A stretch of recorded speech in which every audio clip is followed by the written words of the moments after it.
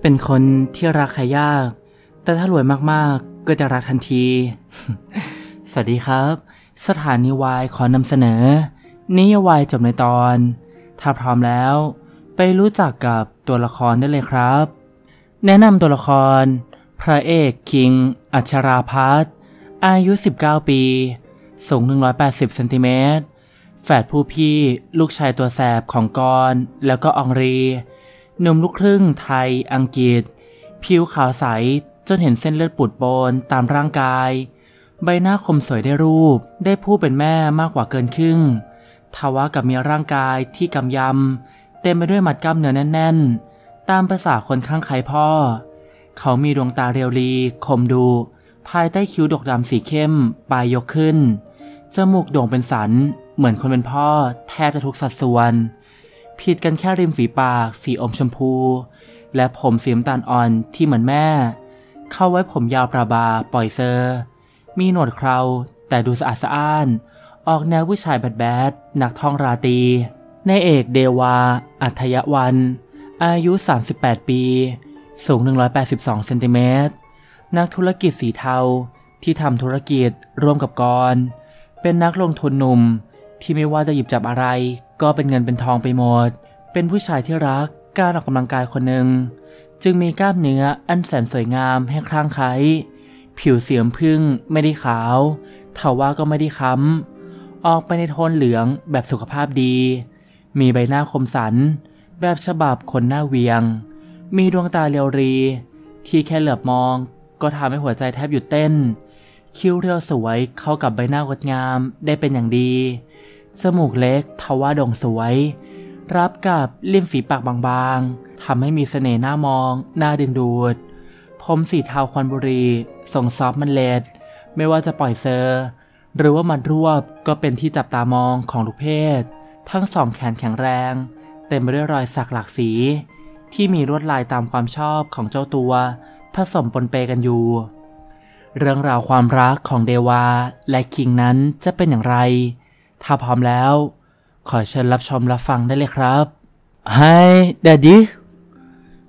เลิกเรียกฉันแบบนั้นสักทีหนึ่งผมขมวดคิ้วพูดสนประโยคนั้นกับทันทีโดยสีหน้าไม่สับอารมณ์เป็นอย่างยิ่ง เมื่อเสียงของแขกที่ผมนั้นไม่เคยเชิญ และไม่อยากรับแขก ดังเข้ามาให้ได้ยินภายในห้องทำงานส่วนตัว ในขณะที่ผมเพิ่งจะสั่งให้บรรดาลูกน้อง ไปจัดการเรื่องสินค้าที่ดกลอกเดินแบบไปเมื่อคู่นี้ ซึ่งเรื่องนี้ก็เป็นเรื่องที่ใหญ่เอาการ เพราะส่งผลกระทบกับทั้งบริษัท โดยที่ไม่รู้เลยว่า ตัวอย่างงานที่เหล่าพนักงานออกแบบทำขึ้นมานั้น มันหลุดไปให้กับคู่แข่งได้อย่างไรกัน และงานที่ผมพูดถึงก็คือธุรกิจค้าอาวุธทุกรูปแบบ เนื่องจากครอบครัวผมนั้น เคยทำงานให้กับบริษัทผลิตอาวุธของ CIA ประจวบกับที่เราย้ายกลับมาอยู่ประเทศไทย หลังจากพ่อแม่ของผมเกษียณ ผมจะทำบริษัทออกแบบอาวุธขึ้น โดยได้รับการ support และร่วมลงทุนจากรุ่นพี่ที่รู้จัก นั่นก็คือพี่กรณ์พ่อของไอเด็กนรก ที่ชอบมาวุ่นวายกับชีวิตของผมในตอนนี้ไงล่ะ ถึงจะไม่อยากเจอรำคาญ หรือว่าเบื่อขี้หน้ามากแค่ไหน แต่ก็ปฏิเสธไม่ได้ เพราะมีส่วนของเรื่องธุรกิจที่ต้องทำร่วมกันกับครอบครัวมันนั่นแหละทำไมล่ะดาเดียอายุห่างจากผมตั้งเยอะเลยนะครับ ไม่เหมอจะเรียกอาหรอก เจ้าเด็กหน้ารอ ตอบกลับด้วยรอยยิ้มทะเลนสายตาดูเจ้าเล่ห์เจ้ากล เหมือนกับคนเป็นพ่อไม่มีผิดใช้สายตานั้น ทอดมองมาที่ผมไม่วางตา ตั้งแต่ก้าวเท้าเข้ามาในห้องทำงานส่วนตัวของผม โดยที่มือใหญ่เต็มด้วยเส้นเลือดปูดปนกำลังลากเอาใครบางคนที่สลบเมือดเข้ามาในห้องด้วย ในขณะที่มือข้างหนึ่งที่ว่าง ก็ล้วงกระเป๋าเดินเข้ามาใกล้ๆ ทำราวกับคนไม่รู้สึกหนักอะไรเลย กับการที่ลากผู้ชายคนหนึ่งเข้ามาในห้อง ก่อนที่อีกฝ่ายจะโยนตัวผู้ชายคนนั้น ที่หัวอาบไปด้วยเลือดสีแดงสด ลงกับพื้นอย่างไม่เบาแรงทำให้ผมยิ่งขมวดคิ้วมองอีกฝ่ายอย่างไม่เข้าใจเข้าไปใหญ่ ไอเด็กเวนเลยไขข้อสงสัยให้ผม ด้วยการกระตุกยิ้มมุมปากเบาๆ เช็ดเลือดที่มือซ้ายเข้ากับเสื้อเชิ้ตสีแดงเลือดหมูของตัวเอง แล้วจึงเดินมานั่งลง ที่ขอบโต๊ะทำงานตรงหน้าผมพางพูดขึ้นด้วยสีหน้าเรียบเฉย น้ำเสียงทุ้มต่ำที่อาจทำให้ใครหลายคน เกิดความรู้สึกว่าวิวขึ้นมาในจิตใจได้ เดี๋ยวดีนี่ไม่ระวังตัวเลยนะครับ มีคนแอบมาทอมมองขนาดนี้ ยังไม่รู้ตัวอีกทอมมอง ใช่ ผมเห็นมันตามแดดดีมาสักพักใหญ่แล้ว แต่ก็ไม่อยากจะเห็นแดดดีเนี่ย จะสนใจมัน ตั้งใจจะปล่อยให้มันติดตามตัวหรือไงครับ เสียงเรียบถามขึ้น ด้วยสายตาเรียบนิ่ง ไร้แววล้อเล่น นั่นทำให้ผมได้แต่ถอนหายใจออกมาเบาๆย่างคนปงไม่ตก พอไม่เข้าใจว่าไอ้ท่าทีแบบนี้ของเขา มันต้องการจะสื่ออะไรกับผมกันแน่ ผมไม่เข้าใจว่าทำไมเขาถึงได้ตามมาวุ่นวายกับผมนัก ทางที่ตัวผมนั้นไม่ได้มีอะไรให้น่าสนใจขนาดนั้น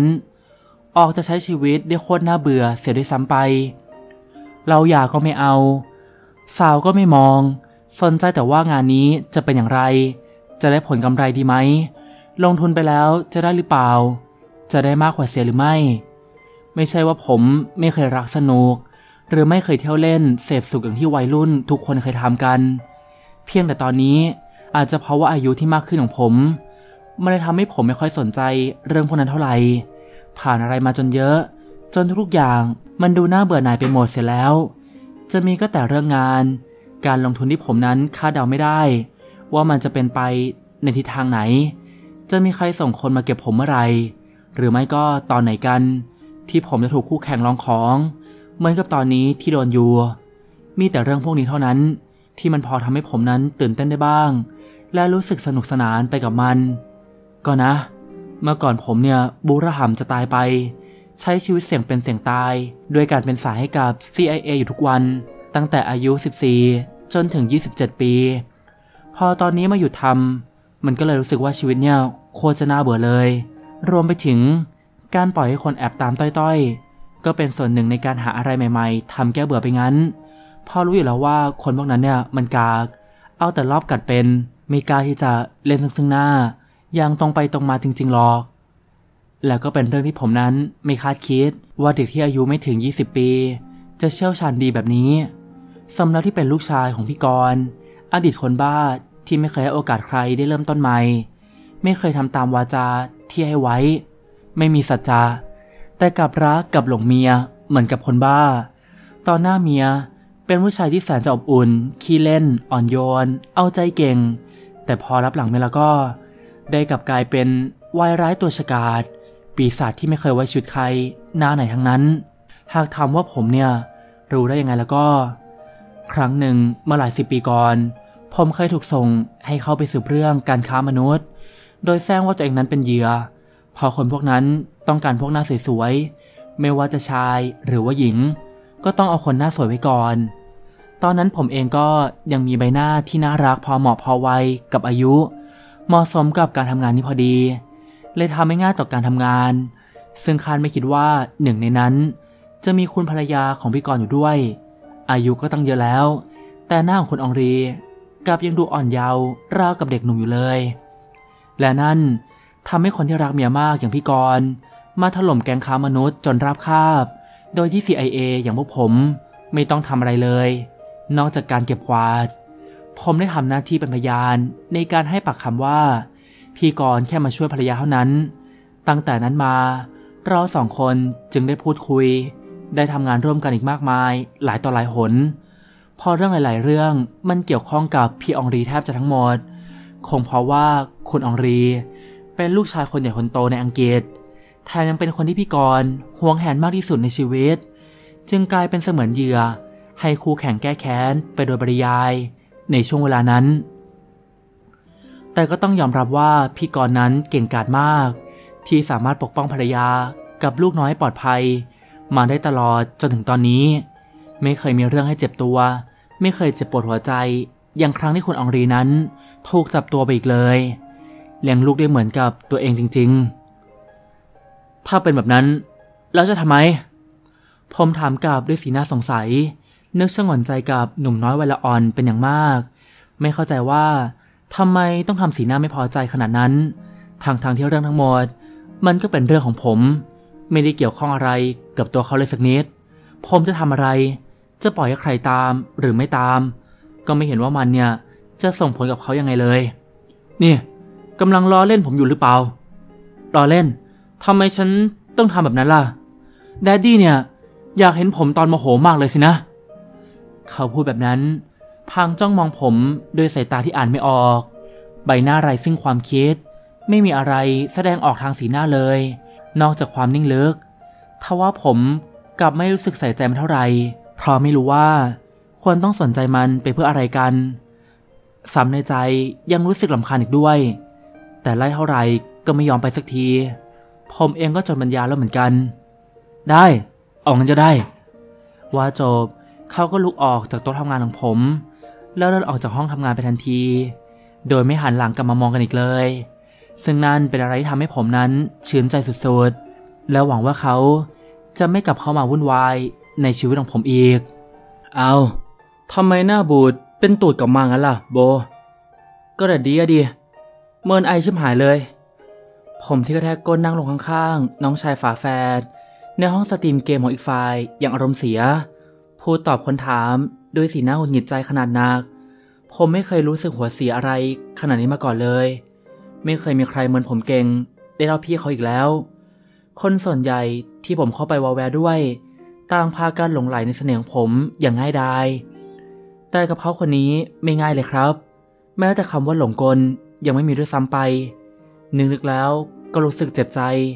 ที่ความหลองตัวผมนั้นไม่สามารถใช้ได้กับผู้ชายคนนี้ แถมเขาดูจะไม่สนใจผมเลยด้วยซ้ำไป ทางที่ผมนะ่ะโคจะสนใจเขาเลย อาจเพราะเป็นผู้ชายที่แปลกกว่าคนอื่น ที่ผมเคยเจอ มันเลยทำให้ผมรู้สึกอยากได้มากกว่าคนไหนๆ พยายามทำให้เขาสนใจ ตามติด ตามวอแวร์ ตามวุ่นวายเขามากๆ เพื่อหวังว่าเขาจะหันมามอง หันมาสนใจ และหลงไหลผมเหมือนกับคนอื่นๆทว่าก็นานเป็นปีแล้วที่ผมทำแบบนั้น แต่ผลลัพธ์ ก็ไม่เป็นดังหวัง เอาง่ายๆเลยนะครับ คือไม่ขยับไปไหนเลย แม้แต่นิดเดียว วันแรกที่เขาหาเขาเป็นยังไง ทุกวันนี้เขาก็ยังทำตัวแบบนั้น ไม่เคยสนใจผมเลย แม้แต่หางตามอง อาเดวาก็เมินโบมาตั้งแต่ไหน แต่เราไม่ล่ะ ยังไม่ชินอีกเหรอแฝดผู้น้องที่กำลังนั่งดู stream เก่าของตัวเอง พลางกินขนมขบเคี้ยวรสโปรดไปด้วย หันมาพูดบอกโดยสีหน้าขมวดไม่เข้าใจ นั่นเลยทำให้ผม รู้สึกหงุดหงิดใจหนักมากกว่าเก่าไปเท่าตัวเลย ก็เมินแค่กับไออะกับควีนแดดดี้ไม่เห็นจะเมินเหมือนไอเลย ก็ไอเป็นเด็กดีไง ไอไม่ได้แบดบอยเหมือนโบที่วันวันเนี่ย เอาแต่หวานเสน่ห์ใส่คนอื่นไปทั่ว มั่วไปหมดแล้วเนี่ย เปล่าสักหน่อย คนมันหล่อเหอะ เหรอ เขาบอกตามตรงนะ ถ้าไอมีคนแบบโบ มาตามวอลแวววุ่นวาย ไอก็คง จะเมินโบเหมือนกับที่อาเดวาเนี่ยทำเหมือนกันอะขนาดนั้นเลย แค่บริหารเสน่ห์เนี่ยนะผมเขาหมดคิ้วถามยังไม่อยากจะเชื่อหูตัวเอง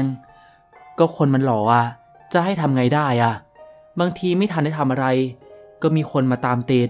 มาขอสารสัมพันธ์ด้วยแล้ว ดีไม่ดีแค่สบตาได้มองหน้า คนพวกนั้นก็พร้อมใจกันวิ่งกูเข้ามาหาผม เข้ามาแย่งกันเอาอกเอาใจผมด้วยซ้ำไป ไม่เหมือนกับเขาคนนั้นหรอก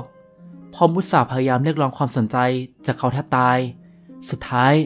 เขาดันมองผมแค่ห่างตา ไม่ได้สนใจใยดีผมเลยสักนิดเดียว มันก็เจ้าชูไหมล่ะโบ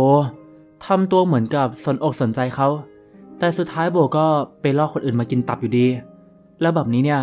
ใครที่ไหนเขาจะอยากสนใจล่ะ น้องชายจอมแสบไม่แพ้ผมเขาหมดคิวว่าให้ ควีนไม่ใช่คนอ่อนหวาน หรือว่าใส่เสื้ออย่างหน้าตา เห็นทำตัวน่ารักคิคูอโนเนะแบบนี้นะตัวตนจริงๆแล้ว คือฝันร้ายของใครหลายๆคนเลยล่ะต่อให้หน้าตาจะน่ารัก เห็นทำตัวน่ารักไรเรื่องสาเข้าใส่ แต่จะมีใครรู้บ้างว่า ตัวเองได้ตกลงไปในหลุมพราง ของความคาวาอีนั้นแล้ว เห็นผมร้ายๆแบบนี้นะ่ะ บอกเลยว่า ไม่ได้เครึ่องหนึ่งของคุยหรอก รายนั้นทั้งมัญญาสารพัดพิษน่ากลัวผมเป็นเท่าทวีคูณเลย และจะบอกให้นะนิสัยของคุยนะคล้ายกับพ่อของจริงเลยละตอนหน้าคนที่เรารัก ก็จะรักเราสุดใจ แต่อย่าให้พ้นสายตาคนในครอบครัวไปเชียวละคราบความอ่อนโยน ความไร้เดียงสาไม่มีเหลือให้เห็นแน่ ไอก็ไม่ได้เข้าหาเขาก่อนสักหน่อย คนพวกนั้นเขาเข้ามาหาไอเองทั้งนั้น โบ แต่โบก็ไม่เคยอ้าปากปฏิเสธเลยสักครั้งสินะ จริงไหมล่ะตั้งแต่เด็กจนโตนะ ควีนไม่เคยเห็นโบทำตัวน่ารักสักที มีแต่ดีแค่รูปหลอ่อพ่อรวย แล้วก็กล้วยใหญ่ แต่มันก็เป็นในแบบที่คนส่วนใหญ่ชอบไม่ใช่เหรอ ใช่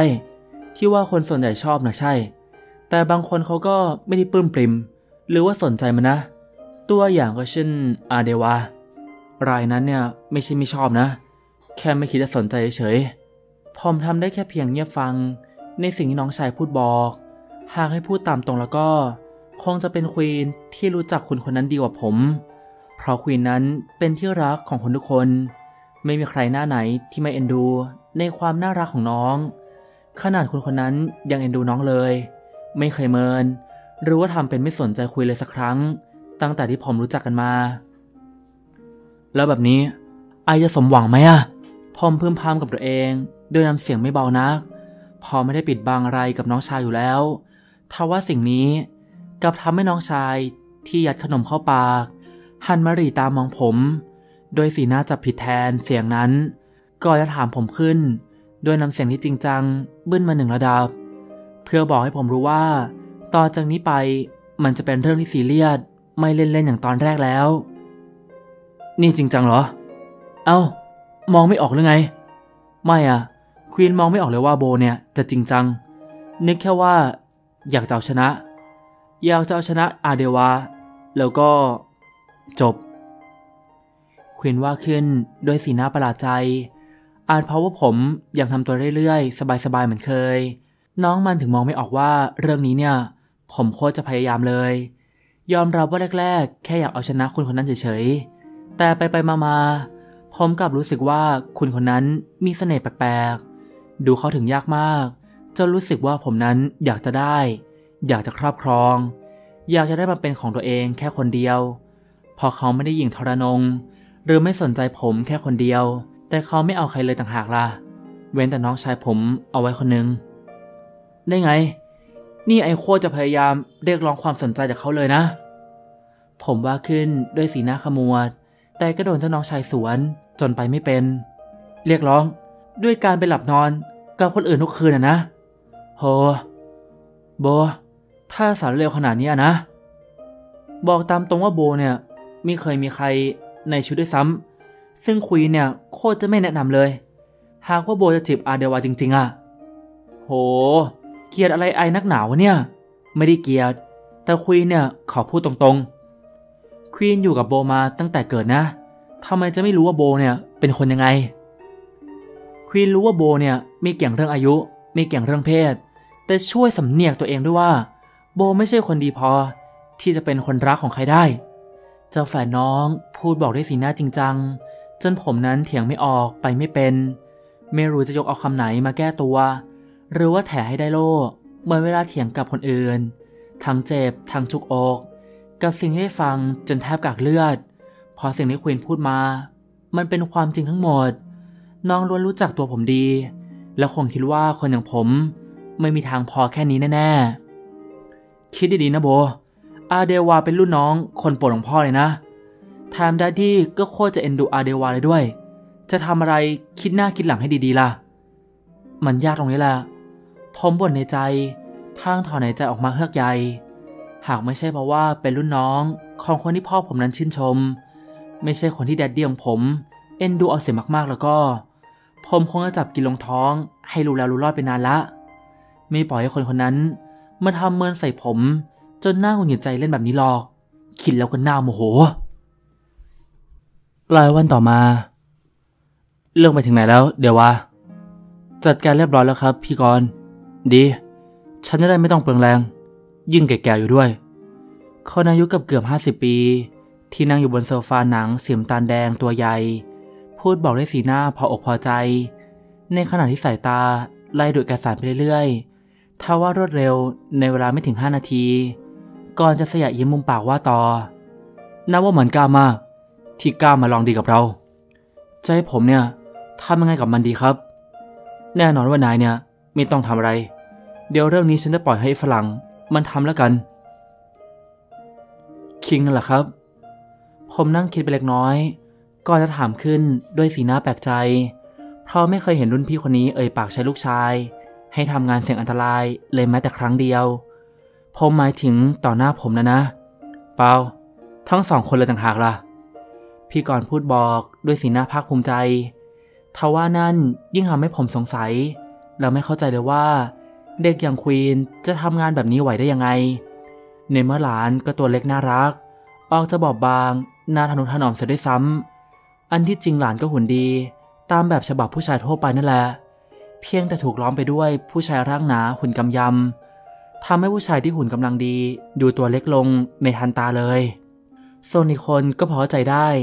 เนื่องจากไรนั้นชอบโชว์พาวบ่อยๆ โดยไม่จำเป็นเลยสักนิด นึกถึงแล้วก็อยากจะกอกตาใส่สักแปดตลบ คนอะไรทำตัวได้น่ารำคาญเป็นบ้า เป็นเด็ก แต่ดันไม่ยอมอยู่ส่วนเด็ก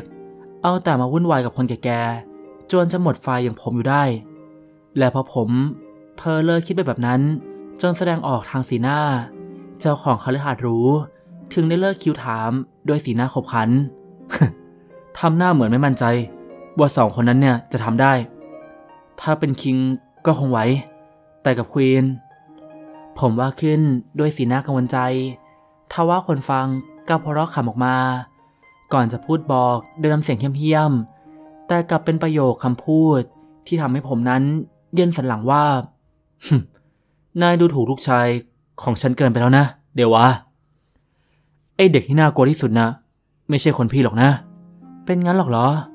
คนที่เหมือนพี่กรที่สุดคือควีนสินะ คิดได้แบบนั้นก็ทำเพียงพยักหน้ารับคำแล้วรอดูสิ่งที่กำลังจะเกิดขึ้นอย่างเงียบๆเพราะวันและเวลาที่รุ่นพี่เลือกจะลงมือคือค่ำคืนนี้ สิ่งที่ผมต้องทำคือ การเข้าไปเจราจาต่อรองกับเรื่องราวที่เกิดขึ้นเท่านั้น ใช่ว่ามันจะยุติจบลงด้วยดี โดยทางนั้นยอมรับว่าส่งคนแฝงตัวเข้ามาขโมยงานของเราไป และยอมหยุดจำหน่ายเครื่องมือ หรือไม่ยอมจบ แต่เลือกที่จะแก้แค้นแทน ทางพวกผมก็คงมีทางเลือกให้เพียงแค่ทางเดียว คือการลงไปชดใช้กรรมในขุมนรก และในคืนนั้นเองที่ทำให้ผมได้ประจักษ์ว่าเด็กน้อยน่ารักน่าทนถนอมอย่างควีน ไม่ได้น่ารักอย่างภาพลักษณ์ของเขาเลย การที่ใช้ปืนจ่อหัวแล้วลั่นไก จนคราบเลือดสีสดกระเด็นใส่หน้า โดยไร้ความรู้สึกไร้ความปาณีแถมแววตาดูมีความสุขกับการฆ่า ตามร่างกายแทบจะไม่รับบาดเจ็บอะไรเลย จากการปะทะกันของสองแก๊ง นั่นยิ่งทำให้ผมได้มั่นใจว่า เด็กคนนี้คือพี่กรณ์เมื่อหลายสิบปีก่อนชัดๆผิดกับไอเด็กนรกที่ชอบโชว์พาวตามร่างกายเต็มไปด้วยบาดแผลถลอกหลายต่อหลายจุด บางที่ก็ได้เลือด ทว่าก็ไม่ได้เจ็บหนักอะไร เป็นพวกบ้าที่ชอบใช้กำลังมากกว่าสมองคิดทำตัวหำหาม แต่ก็ดูพึ่งพาได้ไม่น้อยเลยทีเดียว ไม่แปลกที่คนเป็นพ่อจะภาคภูมิใจ เพราะทางเราไม่เสียใครไปเลยแม้แต่คนเดียว ในขณะที่ทางศัตรูนั้นนอนจมกองเลือดกันทั้งแก๊ง เข้าใจหรือยัง ครับ ผมว่ารับคำถามจากรุ่นพี่ด้วยการพยักหน้ารับคำพอเข้าใจในสิ่งที่อีกฝ่ายจะสื่อถึง โดยมีสองแฝดที่นั่งอยู่ฝั่งตรงข้ามของรถ แบบนี้ไอก็กลับบ้านไม่ได้หรอสินะแฝดผู้พี่ว่าขึ้นโดยนำเสียงทะเลน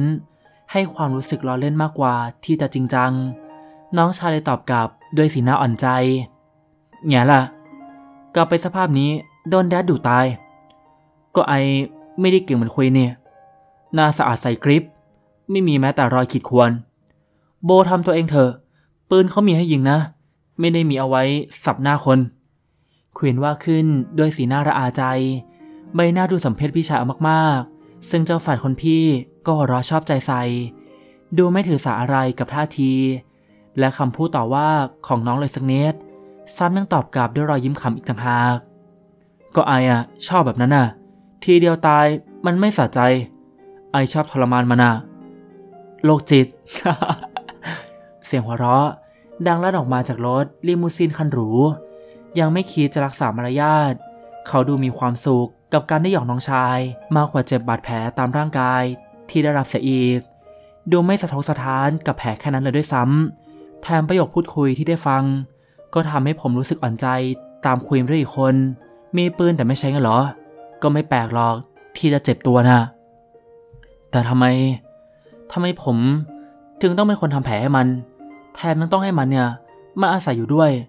จนกว่าแผลจะหายสนิทอีกนะคากโลกนี้ช่างไม่ยุติธรรม ช่างไม่เห็นใจผมเลยทำสีหน้ารำคาญกัน แบบไม่ปิดบังเลยนะครับ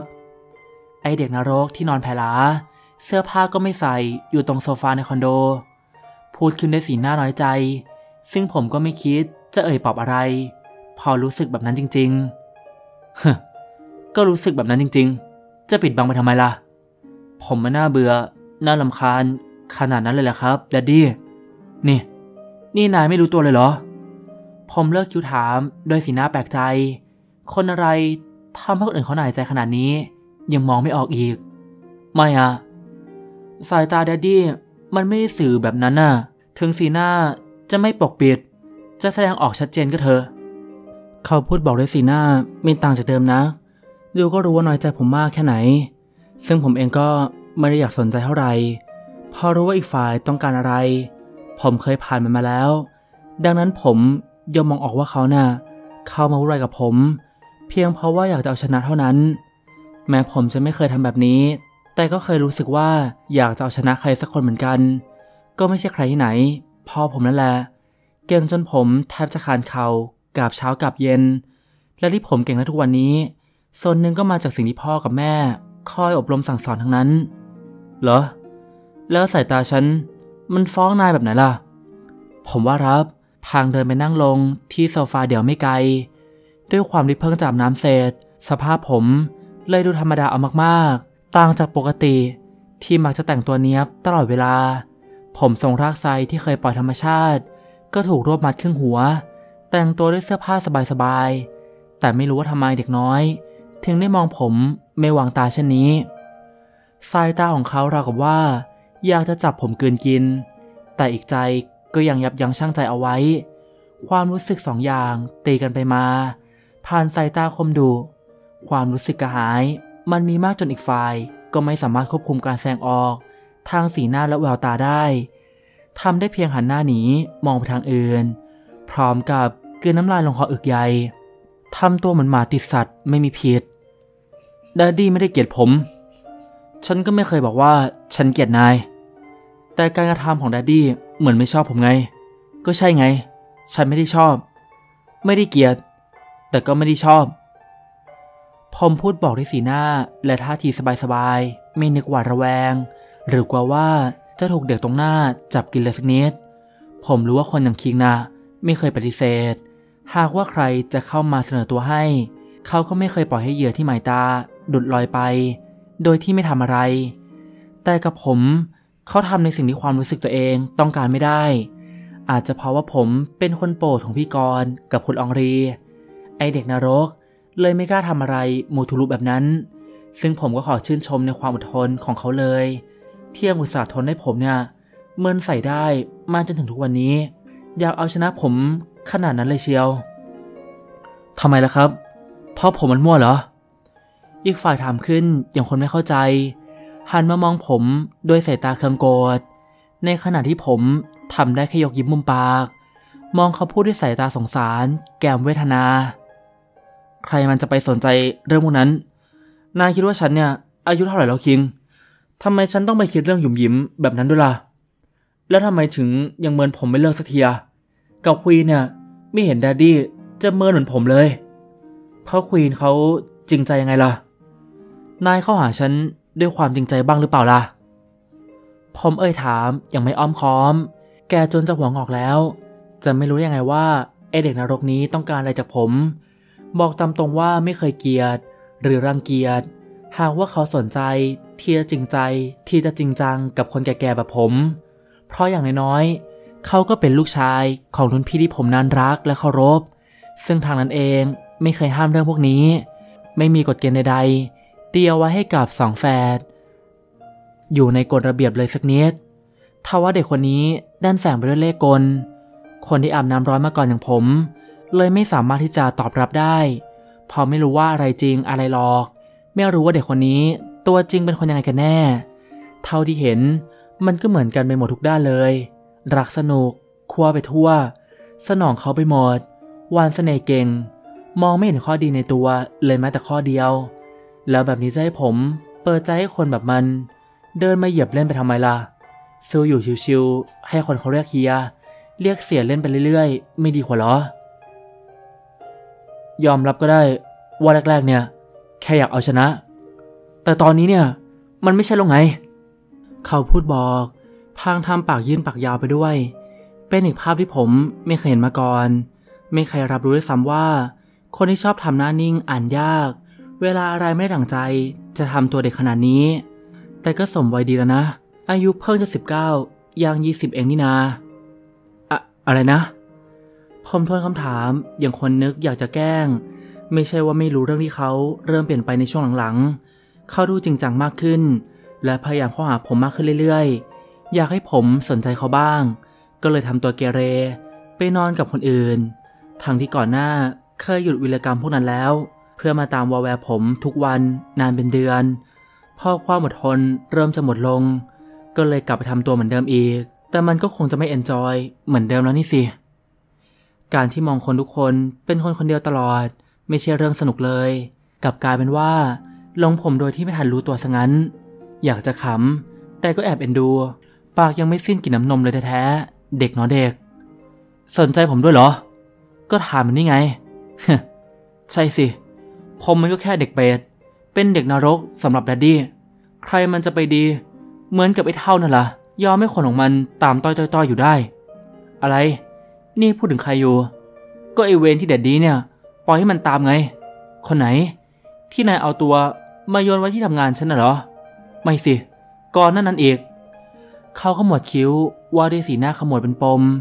แสดงออกถึงความโมโหเล็กๆ ติดจะงุดหงิดหน่อยๆ แต่ก็ไม่ตะคอกหรือตวาดใส่กัน น้ำเสียงยังน่าฟังเหมือนเดิม แม้ว่าจะห้วนขึ้นมาเล็กน้อยก็ตาม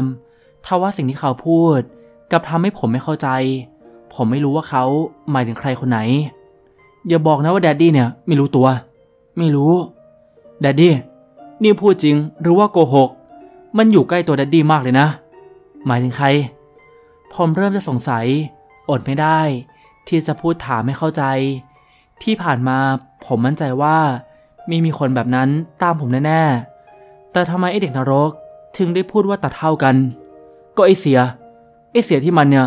เมื่อขอร่วมลงทุนกับ daddyเมื่อหลายเดือนก่อนไง คนแก่หัวงอกที่ปันหน้ายิ้มตลอดเวลาคนนั้นน่ะ แทนยังได้แต่ตัวแดดดี้ง่ายๆอีกด้วย ถ้าผมมีสิทธิ์หวง รับรองได้เลยว่า มันล่วงเป็นลูกมะม่วง ถูกสอยตรงนั้นแน่ๆ เขาบ่นพึมพำด้วยสีหน้าแค้นใจ แต่คำพูดเหล่านั้นกลับทำให้ผมหลุดยิ้มออกมาอย่างอดไม่อยู่ทว่าต้องแกล้งขีบลุก เพราะกลัวว่าอีกฝ่ายเห็นแล้วจะยิ่งได้ใจ แซงทำตัวเฉยๆราวกับว่าเมื่อคู่นี้ไม่มีอะไรเกิดขึ้น ซึ่งผมไม่รู้ตัวจริง ๆ ว่าผู้ชายคนนั้นส่งคนมาตามผม หากว่าไอเด็กนรกไม่บอกกันเมื่อคู่นี้ ไม่เห็นจะรู้ตัวแดดดี้นี่จริงหรือเปล่าเนี่ย เจ้าเด็กถามขึ้นโดยสีหน้าตื่นตระหนก ท่าทีเขาดูตกใจ จนใบหน้าเริ่มดูดุดันขึ้นมา และผมเองก็ไม่ได้โกหก เรื่องที่ไม่รู้ว่าตาแก่นั่นส่งคนมาคอยตามดูผม ไม่รู้ตัว แล้วก็ไม่รู้สึกได้ว่า มีคนตามดูทุกฝีก้าว ผมเลยพยักหน้าตอบรับเขาเป็นการยืนยัน ไม่รู้แม้กระทั่งว่ามันเนี่ย ติดเครื่องดักฟังไว้กับตัวแดดเดียนะ มีเรื่องแบบนั้นด้วยเหรอ คำถามของผมไร้ซึ่งคำตอบ มีเพียงสีหน้ากังวลของแฝดพี่ ที่ทอดมองมาทางผมเท่านั้นทว่าไม่นาน เขาก็หันหน้าหนีกันไป แล้วพูดบ่นอยู่คนเดียว ดีนะ ที่ตัดสินใจเก็บก่อนไม่อย่างนั้น เรื่องที่เคยเกิดขึ้นกับแดดคงจะเกิดขึ้นกับแดดดี้อีกคนแน่ๆ ได้ยินแบบนั้น ในอกของผมมันก็เริ่มสั่นไหวขึ้นมา หัวใจเต้นเร็วแรง จนในหูได้ยินเสียงจังหวะการเต้นของหัวใจ นี่เขาตามคอยดูแลผมอยู่ตลอดเลยเหรอ พอคิดแบบนั้น ใบหน้าของผม มันก็เริ่มเห่อร้อนขึ้นมา หัวใจเต้นแรงด้วยความประมาอย่างไม่เคยเป็นมาก่อน ที่ผ่านมาผมคิดมาตลอดเลยว่า คนอย่างผมน่ะเหรอ จะมีคนมาปกป้อง นอกจากผมจะเป็นฝ่ายปกป้องคนอื่น แต่ตอนนี้มันชัดเจนแล้วว่า ผมไม่ได้เก่งพอ ที่จะสามารถดูแลตัวเองได้ตลอดเวลา ไม่ได้รอบคอบพอที่จะ มองรอบๆตัว ว่ามีใครกำลังหมายหัวอยู่ ผมเองก็ยังอ่อนหัดเช่นกัน ไม่ได้เข้มแข็ง หรือว่าแข็งแกร่งอย่างที่ตัวเองคิดสักนิดนายตามดูฉันตลอดเลยสินะทำไมไม่ตอบ กลัวเสียหมาหรือไง มันก็ต้องรู้สึกแบบนั้นอยู่แล้ว ไม่ใช่เหรอครับ เขาพูดตอบโต้ โดยไม่ได้หันมามองผมท่าทีดูเสียเซลล์เป็นอย่างมาก เป็นธรรมดาของผู้ชายที่มีความมั่นใจในตัวเองสูง เวลาเสียท่ายกับคนอื่น ก็จะรู้สึกว่าตัวเองนั้นขาดความน่าเชื่อถือไป เสียท่ายฉัน มันดูน่าอายขนาดนั้นเลยเหรอ ก็ไม่เชิงว่าอายหรอกครับ แต่การที่เรามาแพ้กับคนที่เราอยากเอาชนะน่ะแม่งโคตรเสียหมาเลยนะ นายยังอ่อนหัดเกินไปนะ แต่ก็ไม่แปลกหรอก นายเพิ่งจะอายุแค่นี้เอง ยังมีเรื่องให้นายได้เรียนรู้อีกเยอะ รวมไปถึงคนที่นายอะจะสนใจด้วย บนโลกนี้เนี่ยมีคนอีกหลายล้านคน ผมพูดบอกด้วยประโยคแฝงความใน เป็นการสื่อไกลๆว่า เขาสามารถไปเจอคนที่น่าสนใจกว่าผมอีกมาก และเมื่อถึงเวลานั้น เขาอาจจะไม่สนใจผม อย่างที่เป็นอยู่ในตอนนี้เราก็ได้ พูดเหมือนกับว่ารู้จักผมดีกันแหละ ก็ปีกว่าแล้วไม่ใช่เหรอ ที่นายเข้ามาวุ่นวายในชีวิตของฉัน แล้ว daddy เนี่ย รู้ได้ยังไงว่าผมจะเปลี่ยนใจ เป็นพ่อหมอหรือไง อย่ามารู้ดีไปกว่าตัวผมได้ไหมครับ คนตระกูลนี้เนี่ย ถ้าได้สนใจใครขึ้นมาแล้วจริง ๆ ไม่เคยปล่อยไปง่าย ๆ นะ ไอแสบพูดบอกด้วยสีหน้าจริงจัง และผมเองก็เชื่อในคำพูดนั้น ไม่ใช่เพราะว่าผมเริ่มหลงไอเด็กคนนี้ แต่เป็นเพราะพี่กรณ์เคยพูดบอกกับผมต่างหาก ไอประโยคที่ว่า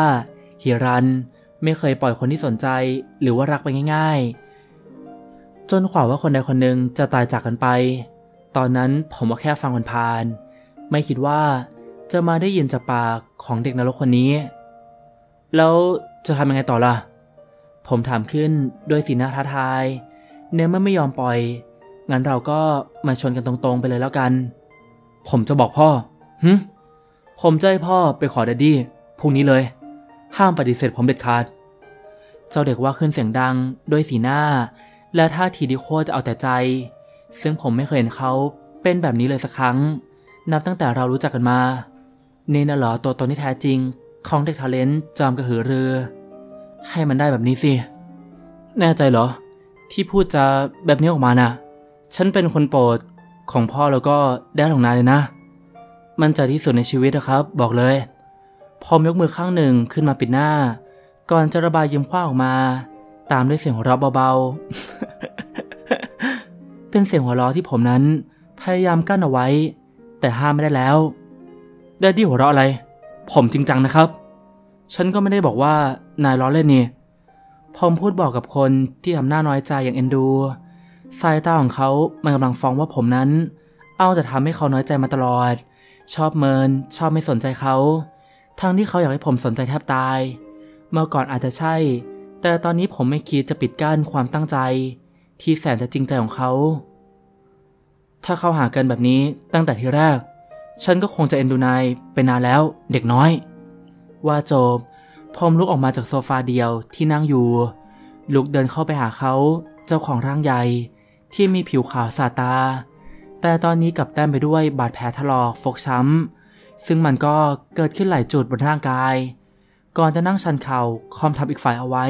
พางยืนหน้าไปใกล้ๆ ไปกระซิบที่ข้างหู ไปกระซิบที่ข้างใบหู ไอเด็กนรกเบาๆ อย่างคนเหนือควา เหยื่อนะ ไม่ได้ล่ากันง่ายทุกตัวหรอกนะ บางทีผู้ล่าเองก็มีสิทธิ์ถูกเหยื่อฆ่าได้ตลอดเวลาเหมือนกันซ้ำเติมกันมากไปแล้ว ไอเด็กแสบว่าขึ้น โดยสีหน้างองอน ช้อนใส่ตามองผมอย่างคนน้อยทว่าครั้งนี้ผมไม่ได้ปล่อยให้มันผ่านไปเฉยๆ อย่างที่ผ่านมา ก้มหน้าลงไปประทับรอยจูบ บนริมฝีปากสีสวยเป็นการเอาใจ แทนการเฉยเมือใส่อย่างที่เคยทำและการกระทำนั้นของผม คงจะสลับสวิตเขาลง เขาถึงได้พลิกตัวผมให้นอนราบลงไปกับโซฟาอย่างรวดเร็ว เปิดโจทย์เลยครับเดดดี้มันจบแค่จูบไม่ได้หรอกนะมันจะหลงฉันอะไรขนาดนั้นฮะ ช่วยไม่ได้นี่ครับแดดดี้อยากทำตัวเด่นกว่าคนอื่นเองอะฉันแปลกกว่าคนอื่น ที่นายเคยคั่วก็พูดมาเถอะ ไม่ครับ ผมหมายความตามที่พูดจริง ๆ เป็นคนในแบบที่ชีวิตนี้ ผมไม่เคยพบเจอ มันเลยรู้สึกว่าเนี่ยแหละที่ผมต้องการ ผมชอบคนแบบนี้ แล้วถ้าคนแบบฉันโผล่มาอีกล่ะ ไม่หรอก แต่ถึงจะมีคนที่เหมือนแดดดี้โผล่เข้ามา ก็ใช่ว่าเขาเนี่ย จะเป็นแดดดี้ที่ผมชอบได้นี่นารอยยิ้มทะเลนแต่ดูมีความสุขฉาบบนใบหน้ารอ นิสัยเด็กที่ไม่เคยเห็น ก็เริ่มแฝงออกมาเรื่อยๆ นั่นยิ่งทำให้ผมรู้สึกเอ็นดู ยกมือขึ้นไปรูปแก้มขาวที่ช้ำ เพราะว่าถูกทำร้ายอย่างเบามือ ก่อนจะพูดขึ้น ถ้าเป็นนายตอนนี้ ฉันก็ชอบนายเหมือนกัน ชอบที่นายมองฉันด้วยสายตาที่จริงใจ ชอบที่นายเป็นตัวของตัวเองนะรู้ไหม ว่านายมันน่ารักมากเลยนะ ในสายตาฉันในตอนนี้นะ หลอกด่าผมอีกแล้วแต่ไม่เป็นไร เพราะถึงยังไง ผมก็ชอบ daddy อยู่แล้ว ผมชอบ daddy นะ ชอบเอามากๆเลย ฉันรู้อยู่แล้ว อ้าว แล้วทำไมถึงไม่สนใจผมล่ะครับ ดัดสันดานไง จะได้รู้ว่ามีควรทำตัวแย่ๆแบบนั้นอีก โดนต้มซะแล้ว ผมยิ้มขำให้กับท่าทีคอตกของเขาทว่าไม่นาน ริมฝีปากสีสวยก็ประทับลง ก่อนที่เขาจะลาจูบออก แล้วถามผมเสียงกระเซ้า ติดแหบผ้าเล็กน้อยเดดดี้ผมทำมันกับเดดดี้ได้ไหม ถ้าเป็นนายตอนนี้ ฉันก็ไม่รู้ว่าจะห้ามไปทำไม ในเมื่อตัวเองก็อยากทำมันกับนายเหมือนกัน สิ้นประโยค เราสองคนก็กระโจนเข้าหากันทำราวกับคนคู่รักที่ไม่ได้เจอหน้ากันมาเป็นปี กอดกันด้วยความคิดถึง แลกจูบกันด้วยความหวยหา แล้วลงมันไปมาตามฉบับผู้ชายที่โชคโชนเรื่องบนเตียง ที่ผ่านมามันอาจจะไม่เคยมีความรัก มีแต่ความอยากและความต้องการทว่าครั้งนี้มันต่างออกไป เราทำมันจากความรู้สึกดีๆ ที่มีให้กันจากหัวใจ ไม่ใช่ความรู้สึกผิวเผิน ที่แค่ผ่านมาเจอ แล้วหลับนอนด้วยกันเพียงเท่านั้นสำหรับผมแล้ว มันไม่ได้แปลกใหม่อะไร